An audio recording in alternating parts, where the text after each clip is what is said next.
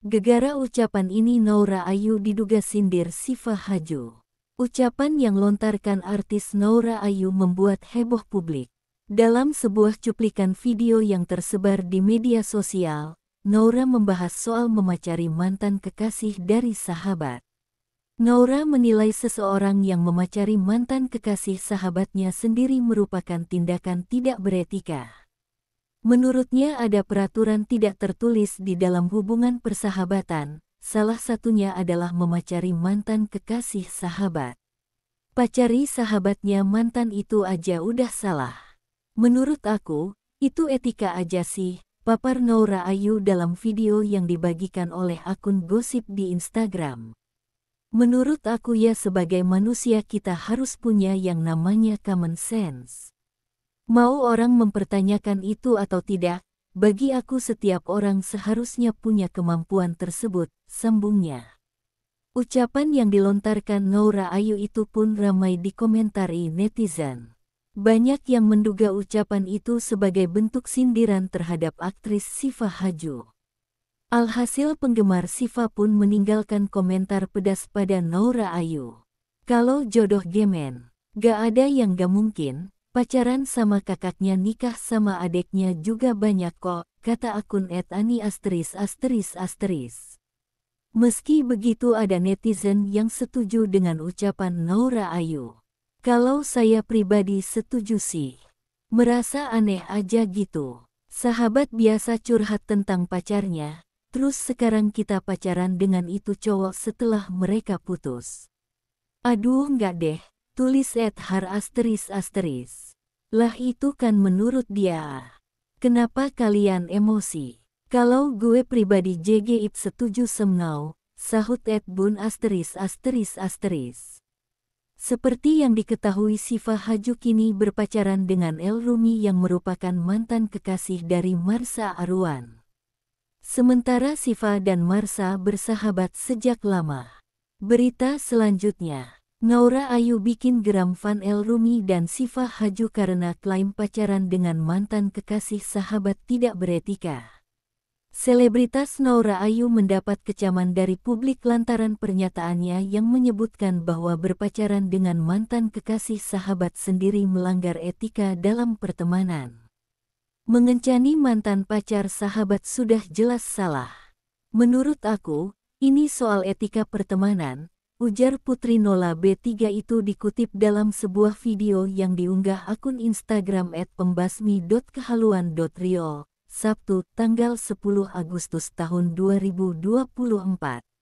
Naura Ayu menambahkan, orang yang memiliki akal sehat tidak akan berpacaran dengan mantan kekasih sahabatnya sendiri. Menurut aku, sebagai manusia, kita seharusnya memiliki common sense. Apakah orang mempertanyakannya atau tidak, setiap orang seharusnya memiliki kemampuan ini, terangnya. Pernyataan Naura Ayu tersebut memicu reaksi negatif dari warganet, khususnya penggemar El Rumi dan Siva Haju. Diketahui, El pernah menjalin hubungan dengan Marsa Arwan, yang merupakan teman Siva Haju. El dan Marsa saat itu menjalani hubungan pacaran berbeda keyakinan. Sebelum dekat dengan Siva Haju, El sudah mengakhiri hubungan dengan Marsa sekitar lima tahun lalu. Namun, Ibu Marsa diduga sempat menyindir Siva melalui sebuah postingan di Instagram dan kemudian mengunfollow akun media sosial Siva.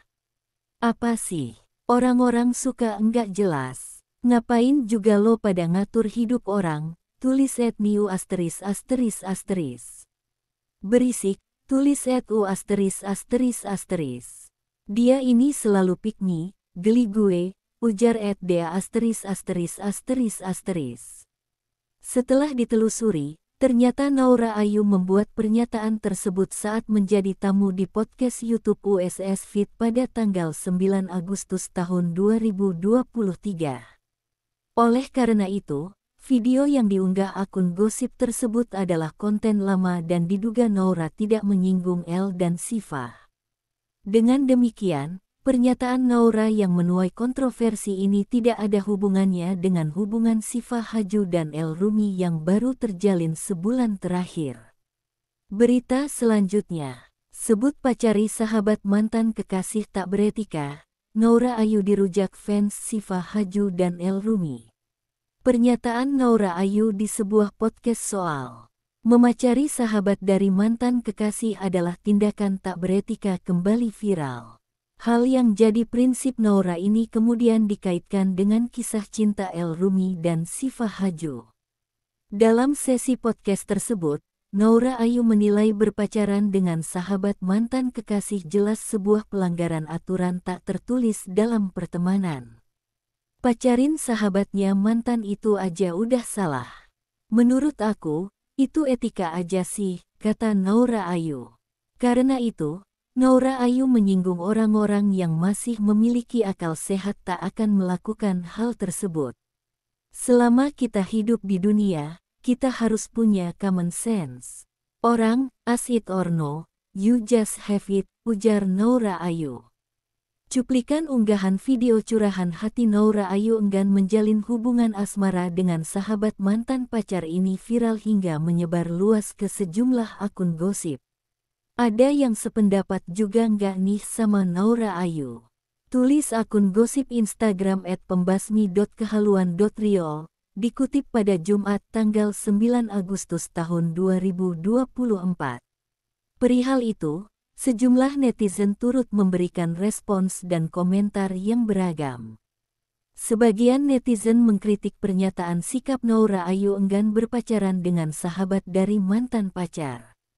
Dunia Anda terlalu sempit kalau berpikir seperti itu, tulis seorang netizen. Jangan jadi penghalang jodoh orang, ucap netizen lain. Sementara itu, sebagian netizen lainnya yang diduga fans Siva dan El mencurigai pernyataan Naura Ayu tersebut untuk menyindir idola mereka. Padahal, anggapan ini lantaran podcast Naura dilakukan jauh sebelum El dan Siva pacaran. Dia nyindir yang lagi viral ya. Kata netizen lain, nyindir Siva, ujar netizen yang lainnya.